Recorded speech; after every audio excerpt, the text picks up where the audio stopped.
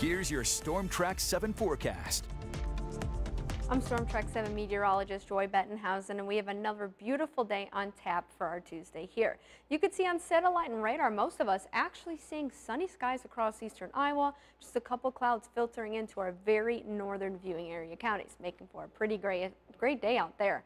Threat tracker does show up sunny to partly cloudy skies today. However, on Wednesday, a couple isolated showers are possible late Wednesday night into Thursday, and then I'll give a few more showers for Thursday day.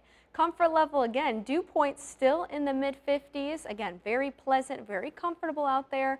But you can see the trend here as we head towards the rest of this upcoming work week.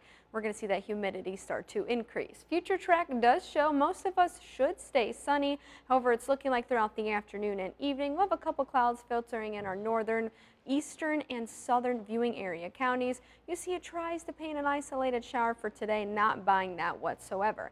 Towards the evening, though, we start to clear out, making for some sunny skies and probably a beautiful sunset for us there by late evening. We'll clear out overnight and then another very cool evening ahead.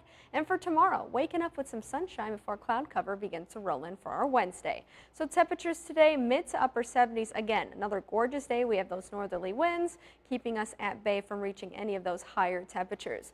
Tonight we'll be in the low to mid 50s. Another cool night, perfect night to open those windows. I definitely did, and whew, it was beautiful to kind of give that air conditioner a break there. City by city forecast shows Waterloo, Dubuque, Cedar Rapids, and Iowa City will all be dry today and tomorrow, but we've got more rain on the way for Thursday. You can see on that 10-day forecast here, heat and humidity all increase starting Friday and looks like those humid conditions will carry on through most of next work week.